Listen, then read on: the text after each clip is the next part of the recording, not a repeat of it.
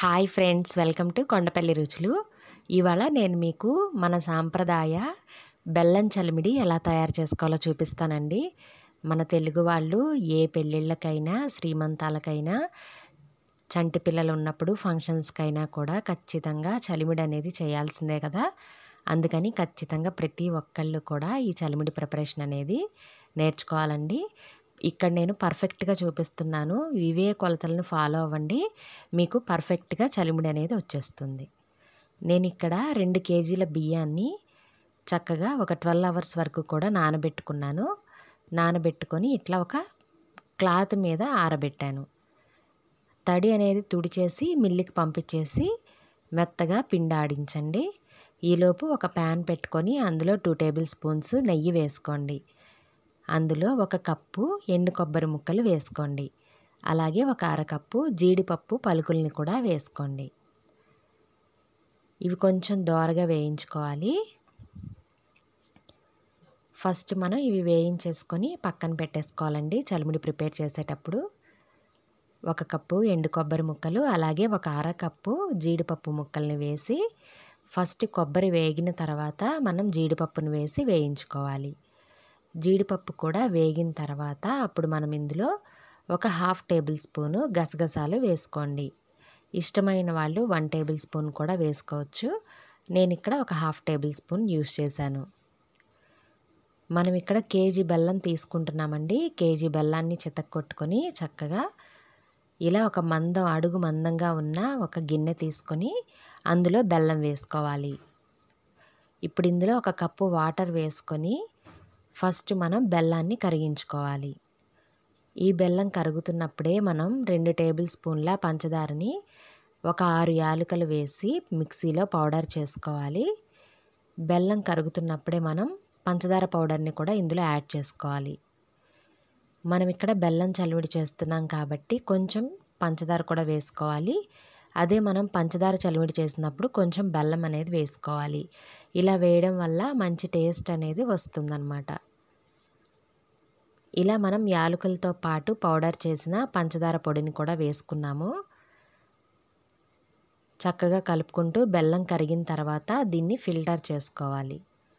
చూసారా? కరిగిపోయింది. ఇలా బెల్లంలో ఏవైనా నలకలు ఉన్నా కూడా మనం ఫిల్టర్ చేసుకోవడం వల్ల నీట్గా ఉంటుంది. ఇలా ఫిల్టర్ చేసుకున్న సిరప్ని అడుగు మందంగా ఉన్న గిన్నెలో వేసుకోవాలి. వేసుకొని ఇప్పుడు మనం పాకం రెడీ చేసుకోవాలి. ఈ చలిమిడికి ఎప్పుడు కూడా మనకి లేత ముదురు పాకం అనేది రావాలండి. అంటే లేత ఉండపాకం అన్నమాట. అలా లేతగా ఉండపాకం కొంచెం దగ్గరికి మనకి పాకము వాటర్లో వేసి చూసినప్పుడు చక్కగా కదలకుండా ఉంటుందన్నమాట. కొంచెం దగ్గరికి వస్తూ ఉండ కట్టడానికి దగ్గరగా ఉన్నప్పుడు మనం స్టవ్ ఆఫ్ చేసుకోవాలి. చలిముడికి ఎప్పుడు కూడా అలా జెల్లీ టైప్లో వస్తేనే బాగుంటుందండి. ఉండని రాని మాకండి. ఉండ రాకుండా జస్ట్ ఉండ అవ్వటానికి దగ్గర పడుతున్నప్పుడు స్టవ్ ఆఫ్ చేసుకోవాలి. మరి కొంచెం సేపు ఉడికించుకుంటే మనకు ఆ పాకం అనేది వచ్చేస్తుందండి. మనకి జెల్లీ లాగా ఒక ఉండ టైప్లో వస్తే సరిపోతుంది. పాకం అనేది మనం ఎటు కదిలించినా కూడా చక్కగా కదులుతూ ఉండాలి. చూసారా? ఇట్లా అనమాట ఇలా ఒక జెల్లీ టైప్లో ఫామ్ అయితే సరిపోతుంది. ఒక్క నిమిషం అలా ఉంచుకొని ఇప్పుడు ఇందులో మనం ముందుగా వేయించి పెట్టుకున్న ఎండు కొబ్బరి జీడిపప్పు మిశ్రమాన్ని కలుపుకోవాలి.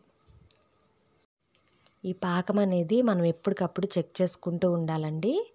ఫాస్ట్గా మనము చెక్ చేస్తూ ఉండాలి. ఒక పక్కన పాకం మరుగుతున్నప్పుడే మనం చెకింగ్ కూడా చేసుకుంటూ ఉండాలి. ఇప్పుడు పర్ఫెక్ట్గా అయ్యిందండి. అయినప్పుడు నేను ఇందులో ఎండు కొబ్బరి మిశ్రమాన్ని వేస్తున్నాను. అలాగే రెండు టేబుల్ స్పూన్ల వరకు నెయ్యి అనేది యాడ్ చేసుకోవాలి.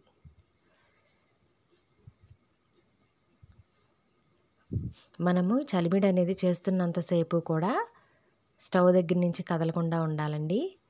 అలాగే మనము మిల్లులో పట్టించుకున్న బియ్యం పిండిని కూడా అలా ఒత్తి పెట్టుకోవాలన్నమాట. పిండి అనేది మనకు తడ ఆరకూడదు. చక్కగా కూల్గా ఉండాలి చేత్తో పట్టుకుంటే పిండి. ఇప్పుడు మనం పాకాన్ని స్టవ్ నుంచి దించేసుకున్నాం కదా. ఇందులో కొంచెం కొంచెంగా బియ్యం పిండిని యాడ్ చేసుకుంటూ తిప్పుకుంటూ ఉండాలి. చాలా ఈజీ అండి. చాలా సింపుల్గా చేసేసుకోవచ్చు. ప్రతి ఒక్కళ్ళు కూడా ఇదనేది తెలుసుకొని ఉండాలండి. మన ఇంట్లో ఏదో ఒక శుభకార్యానికి మనం ఖచ్చితంగా చేసుకోవాల్సి ఉంటుందండి. సో పర్ఫెక్ట్గా నేర్చుకోండి. నేను ఇక్కడ రెండు కేజీల వరకు కూడా బియ్యం పిండిని తీసుకున్నాను కదండి. మనకు అందులో ఒక పావు కేజీ పిండి వరకు మిగులుతుంది.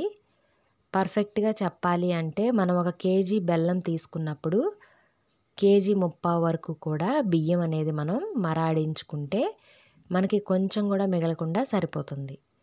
కొత్తగా చేసే వాళ్ళైతే రెండు కేజీల వరకు కూడా బియ్యం పిండి తీసుకొని పక్కన పెట్టుకోవడం అనేది మంచిది.